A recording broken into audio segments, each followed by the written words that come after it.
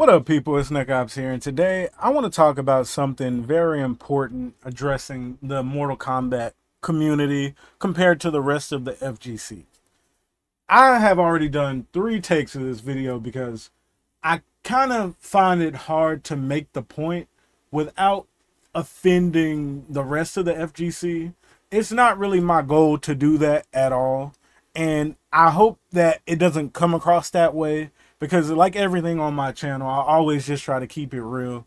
But I know the Tekken community easily gets butt hurt, and I'm not trying to offend the Guilty Gear community as well. But we're gonna talk about, you know, a tweet that was put out, and you know, people really started making fun of Mortal Kombat. I feel wrongfully because they are ignorant, and we're just gonna get right into it. So let's bring up the display capture right here. So we have the Mortal Kombat Evo registrations right here. So this person that goes by the name of Fighting Games Daily, he said, I would like to make a formal apology. We are still in search for the third member of the big three of this generation. Because in this tweet here, he put, we are in the golden age of fighting games. Expect the FGC to grow immensely by the year with the big three on board. If you ever wanted to try fighting games, now is definitely the best time to do it. Which I don't think he understands like what it means to be in the FGC based off of what he's trying to make fun of. But let's go ahead and talk about this now because this sparked a whole bunch of, of course, jokes of people making fun of Mortal Kombat, all in the tweets and everything. And, you know, right here where somebody is like, oh, Strive is the big three, but people are in denial and you know all of these people are you know just making fun of the fact that mortal kombat right here if we go ahead and click on this it got number seven. As far as the total evo registrations it got number seven. So with the game being as big as mortal kombat that looks really bad. And on some cases as you know, when it comes to the competitive scene, yes, it can be viewed as a bad thing. It can be viewed as bad news that the game is this low in the competitive scene, even though it's this popular. But let's go ahead and break some things down before we get into this. Now, the reason I started this whole video over, because I had a whole nother, you know, take on this video, is because I said in the last video I made addressing this topic, I was talking about all the other games, but let me get this main thing out of the way. Mortal Kombat has never been huge in the tournament scene. It just hasn't. And you're going to get a lot of information on misinformation based off of this list that Mortal Kombat 1 is not doing well, that it's a game that's just not thriving. You're going to get a whole lot of, you know, misinformation because of this is the final list of Evo. And in case you don't know what Evo is, Evo is the biggest fighting game tournament in the world. It's like the Super Bowl or the playoffs of fighting games. It's the biggest one. So, one of the biggest fighting games getting number seven can be viewed as, well, hold up, that's not good, which you definitely can view it that way, but that is not the full story. That's why I say you're going to be getting misinformation. So, let's make one thing clear, like I was saying. Mortal Kombat has never, and I mean never, been big in the tournament scene. It might have had its moments. It might have have done okay, but as far as the tournament scene as a whole, it has never been huge. So for people to try to base, you know, the game's success off of the fact that it's still not huge in the tournament scene is just flat out ignorant. It's never been a huge game. And you can say it's for multiple reasons. The games is that and the other, but I personally think the main reason is the fact that the games had short life cycles. As far as Street Fighter, Tekken, you know, King of Fighters, those are games that you could play for years, years upon end, and completely learn, master the craft of the game and all that stuff. You could get very good at those games, and you had a lot of time to play them. But as far as the NRS games, those games had two year life cycles. Like you went from MK9 to Injustice 1 to MK10 to Injustice 2. And the games had two year life cycles besides besides the newest MKs, which you know I think, yeah, when we go to MK1, MK1 had the longest time to come out, but it wasn't still that long. It was like what three instead of two. So when you have these short life cycles in these games, it deters people from wanting to play them competitively because why would you invest your all?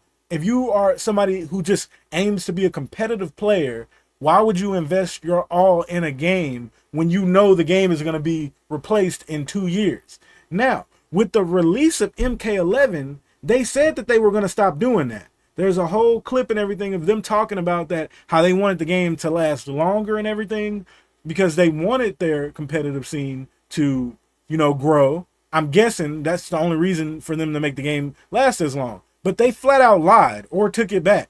Now, we don't know if it was because of COVID, all that stuff, but they flat out just stopped supporting the game. So they didn't do what they said they were going to do. So they just continued this typical life cycle.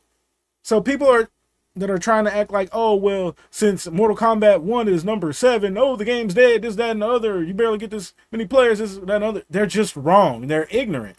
And me calling a group of people ignorant is not me attacking them. Ignorant means you don't know something. So the fact that all these people are acting like, oh, MK is not, you know, thriving because it's not popular at Evo they just don't know what they are talking about. On top of that, Evo is known in the past for treating Mortal Kombat terribly. I don't even think Mortal Kombat should be at Evo.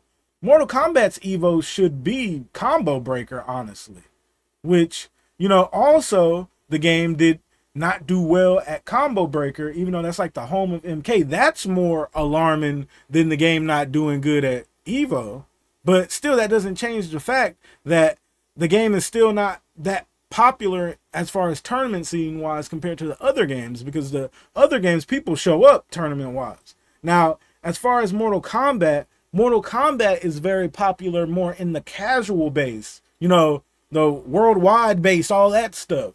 You can go up to somebody, see, people are not understanding what, you know, commercial success is and how much of a role that plays. Just because Mortal Kombat is not successful in a small part of what it means to be successful in fighting games because being a big tournament game doesn't make you a very successful game. I don't people got this misconception that tournaments are much bigger than they seem like. Do y'all not realize millions of people have bought Mortal Kombat and the tournament scene of Mortal Kombat probably at the most consists of a thousand players? Like at the most. And even other scenes, Street Fighter's tournament scene probably consists of around 3,000, maybe 4,000. That's like Tekken as well. The tournament scene isn't really that big. Like I know I compared it to like the Evo. I know I compared Evo to like the playoffs and the Super Bowl, but it's still no Evo or I keep saying Evo. It's still no Super Bowl or no playoffs. It's just not. It is a you know, big thing for the FGC, but as you know, talking about the whole world, tournaments aren't that big, but Mortal Kombat is that big. You can go up to 10 random people and you could say, get over here. What what is that from? They're gonna know where that's from. You could go up to like five, eight people and say Hadouken or something, and they're gonna know where that's from. But more people are gonna know what get over here is from. Scorpion. Mortal Kombat is the biggest commercial success out of any of those games, and that means something. And people don't realize that. I'm one of the people who is like the main critique of Mortal Kombat, especially with 11. You know, I think MK11 was a terrible game. And even though I still critique this game right here, Mortal Kombat 1, I think Mortal Kombat 1 is much better than 11 was. And it has way more potential. And I think it gets made fun of way too much. And this whole Evo entrance thing is just another thing for people to try to tear Mortal Kombat down when honestly it's not a big deal because it changes nothing. Yes, would it be better for the FGC because the FGC is already not that big of a community anyway that's why I said the dude in the video don't understand what the FGC is. Like the FGC is basically people who consistently play fighting games. There's gonna be a lot of people who buy Mortal Kombat probably today. There's going to be hundreds, not thousands of people that go buy Mortal Kombat today and play the story mode and never touch online because Mortal Kombat is a commercial success and that's why the game does so good. So just because the game doesn't do good tournament wise, we're not going to sit up here and act like the game isn't successful. People try to do anything to try to tear the game down wrongfully. Now, critiquing the game rightfully, there's nothing wrong with that. But people are out here trying to get like Steam Steam charts. Like, oh, look how many people playing on Steam charts. This, that, and the other. Oh, the game's done. First of all, Steam charts is the worst way to judge the longevity of any game that is on consoles as well. More people play on consoles than PC. That's just obvious. I don't even know why that needs to be said, but apparently some people aren't smart enough to realize that. Games that are played on consoles are going to have a different player base. The console player base of Mortal Kombat on PS4 specifically is still very large. Yes, you have to go look at the stats by using third per third party websites and all of that stuff, but I wish there was a way you can view it like Steam, but you can't. But you can still see if you do your research that Mortal Kombat is still successful sales wise and everything on PlayStation. It has players. So this narrative that people are trying to push that there are no players is ridiculous. If you're going to critique the game, at least do it the right way. Now we get on to this part of the video where I also talk about critiquing of the other games because I mentioned this at the beginning of the other take of the video I did, but I didn't want to do that. I wanted to get my point across about MK first. So if we want to keep it real here, let's talk about some Tekken. Let's talk about some Guilty Gear since, you know, and we can get into the rest of these, but I don't really want to get into those. I want to get into Tekken and Guilty Gear right away because that seems to be the main game that people try to compare Mortal Kombat to because it, and a lot of people eyes, it should be in the running around there. Mortal Kombat should be four or three. So if we want to talk about Tekken, you know, since all of these other fighting game communities want to critique MK, people view Tekken it way, way too prestigiously. People act like Tekken is one of the most prestigious fighting games to play, and it is not. Like, and this is not me trying to offend the Tekken community. Like I said, they get butt hurt really easily, and the end of the day, I don't even know prestigiously is a word. I'll just say they wrongfully view the game as very prestigious, and it's not. I feel like Tekken. A lot of the players in the Tekken community, I'm not speaking for all of them, like to look down on Mortal Kombat and think of Street Fighter as their equal. Street Fighter is not Tekken's equal. It's just not. Street Fighter 6, and keep in mind, I'm a person that has gotten high level at a lot of these games on the list right here. Mainly the more popular ones. Street Fighter 6, Tekken 8, Guilty Gear Strive, Mortal Kombat 1. I didn't hit Celestial, Elder, you know, Masters with a lot of characters, you name it. I've gotten high level in all these games. And I can confidently say a thousand percent without a shadow of a doubt that Street Fighter 6 is the best of all of these games. And Street Fighter 6 has no equal. That game is beyond good. And keep in mind, I'm somebody who makes primarily Mortal Kombat content and a few Tekken videos here and there. I have no reason to be saying this if it was not true. I get no benefit from saying this. But the benefit of me knowing that I always keep it real on my channel. Street Fighter 6 bar none when it comes to everything the game offers as a complete package, what it offers to all skill levels of players, the high levels, the pros, the you know, casuals, the story mode, everything the Street Fighter does is the pinnacle of what fighting games should be. And if you disagree with that, I just think you haven't played Street Fighter or you got your head shoved up these other games too much and really need to go try some Street Fighter because Street Fighter is an amazing fighting game. And it's what other fighting games should strive to be, in my personal opinion. And it does amazing. Matter of fact, if we want to talk about all avenues of what Street Fighter has done, Street Fighter, when as far as its tournament scene, Street Fighter has given out more money with this one game. One game. You can fact check this if you do not believe me. With one game, Street Fighter 6 has given out more money than Tekken, Guilty Gear, and Mortal Kombat combined to its tournament scene. One game, if you combine every Tekken, competitive Tekken, every competitive Guilty Gear, every competitive, heck, we could throw the Mortal Kombat, we could throw the Injustices in there with the Mortal Kombats. With this one game, Street Fighter has already given out almost like three million bucks.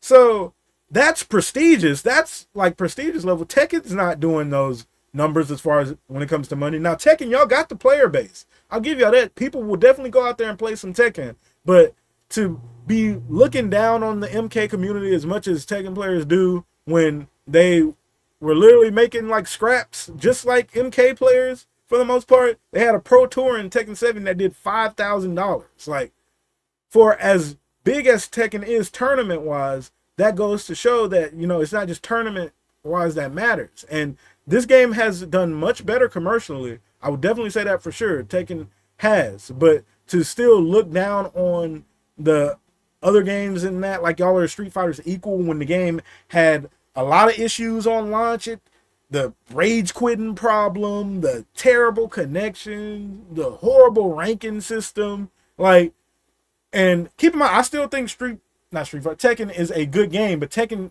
has its flaws. It's not dang near unflawed, almost like Street Fighter 6. That's all I'm saying. I'm not saying Tekken's a bad game at all. I had fun playing Tekken. I enjoyed my time, but when I was playing Tekken, I thought we were going to get like another game as good as Street Fighter when Tekken came out, but we didn't. It's just not as good as Street Fighter, in my opinion.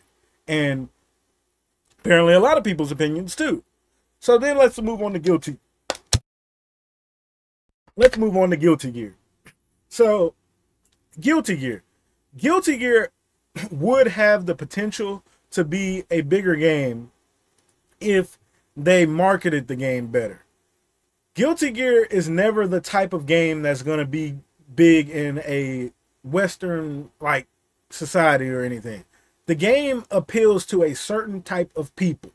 Now, I'm not going to say what those type of people are because I'm not trying to sound offensive, but it does. If you play Guilty Gear, you know, you look at the community, the people in the community, you play the game, it appeals to a certain type of people. And it's not going to be the people that can, like, any type of people can play Tekken. You know, a lot of type of people can play Mortal Kombat, but Guilty Gear appeals to a certain audience. I feel like if they stop trying to do that, and it's probably not what you think I'm trying to say. People might assume I'm saying the words, but if Guilty Gear appeared to appeal to a different audience, then it probably could do better. But the game still does great, but it will never be, you know, commercially successful as Mortal Kombat. Just because Mortal Kombat is not huge in the tournament scene, we are not going to sit up here and act like Mortal Kombat is not successful. Like that's just an ignorant thing to do. Now, keep in mind, I really like Guilty Gear as well, and I wish Guilty Gear would, you know, market better and do better things and stop trying to promote the way they do if they want to get bigger to a bigger audience. But I still think the game is fun. They're in their own lane. They're doing their thing. But I don't think Guilty Gear can be a part of the big three of fighting games. I just don't how it is marketed and what they do with the game. Even though I personally think the game is very good, potentially even better than Tekken 8 and Mortal Kombat 1. It could be the second best game as far as just gameplay, but it still doesn't offer as much to do as like a Tekken or a Street Fighter 6. That's where Mortal Kombat lacks mainly in its features and what the game has to offer besides just playing online. But to sum this whole video up, Mortal Kombat is still part of the big three if we're just talking about success. Like, people need to stop viewing tournaments as end all be all because it's just not. And it's a big part of the FGC, but it's not a big part of all the people that buy fighting games. It's just not true. And people need to do their research before they make ignorant statements, in my opinion. So I hope you all enjoyed the video. This video is much longer than I wanted it to be. I just wanted people to understand the main part of what I said at the beginning of the video. Let me know what you think about the Evo lineup in the comments below. I hope you all enjoyed the video. Don't forget to like, comment, and subscribe. And Nickopz out.